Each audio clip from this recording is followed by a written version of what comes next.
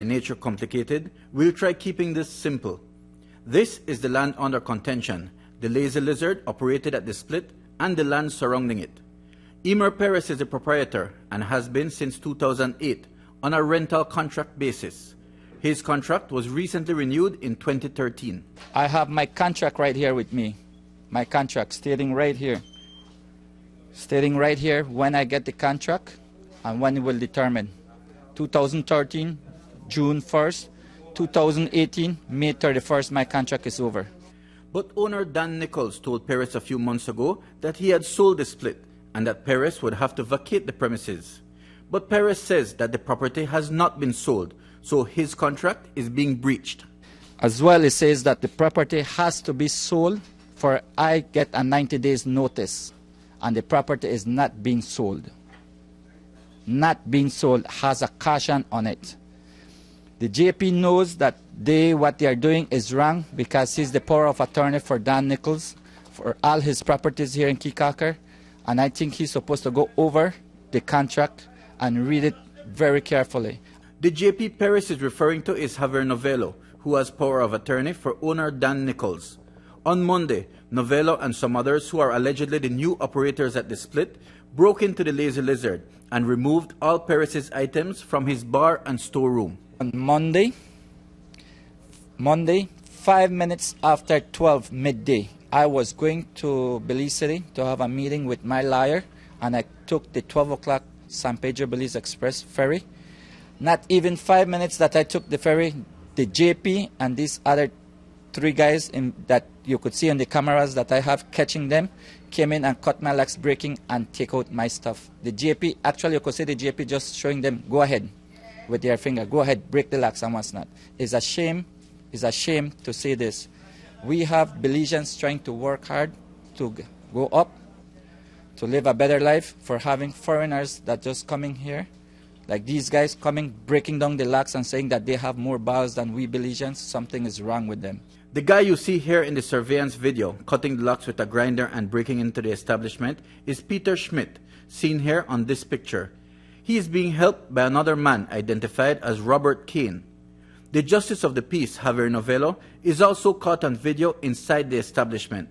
That matter is in police hands, since it is breaking and entering and a criminal charge. But let's get back to the split, where Perez says he has invested nearly $200,000 in the past few years. This place was in a mess, a mess. The water in front, the, the water, the land facing the east side or facing the reef, the water was way up close to the big building, coming close up. I had to refill that, put a seawall, refill it with my money, with my savings that I had in. I took my savings and I started to fix the place, the property itself. Because every time we have a bad weather coming, a little tropical wave, tropical storm or what's not, it would erode, erode more and more. On the, on the east side of the property facing the reef, I fill that up. I put boulders in front of the seawall. I fill it up with sand. On the west, southwest of the property as well, I fill that up as well. And that took me two years now. He has two years now. Perez also built a new bathroom at a cost of 25000 as well as a deck around the property where tourists can hang out and sunbathe or, as these local and foreign visitors are doing, catch some snappers. We got the impression that Perez knows he'll have to go eventually, but he wants it to be on what he says are fair terms. What I want is to get paid for the rest of my contract and for the days that the business is closed. So my liar will deal with that for me, with them. If they have any liar, or with the owner itself. The owner supposed to be coming this month. I don't know which date, but he's supposed to be coming this month. That's what he told me the other day when I spoke to him. And he said, We want to negotiate.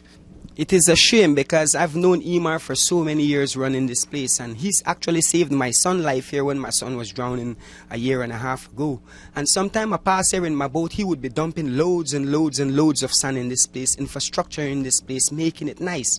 This place wasn't like this many years ago. He filled the whole place up because the place was like not really nice for tourists to come lay down on the ground and stuff. He filled it up, dredged it up he built the sea walls, make it nice and neater for people. He put the foundation so they can lay on and stuff. He's a nice guy, and we don't want them to take away the split from him at all. Apart from the illegal breaking and entering, Perez's liquor license was also revoked since it is in the name of owner Dan Nichols.